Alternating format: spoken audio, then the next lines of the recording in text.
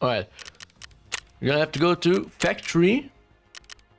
3 a.m. It has to be a night raid. It has to be a night raid. It cannot be a, a normal raid. It has to be a night raid.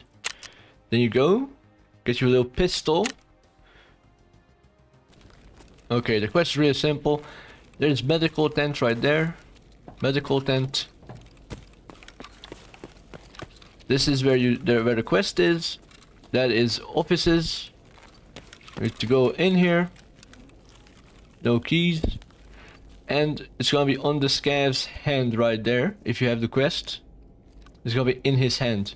It's basically the same location. This is uh last wipe.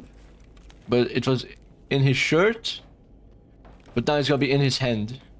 If you have the quest. It should be right there. And then you can just extract. It can be a run through or anything, you just have to survive. If you die, you have to come back and get it again.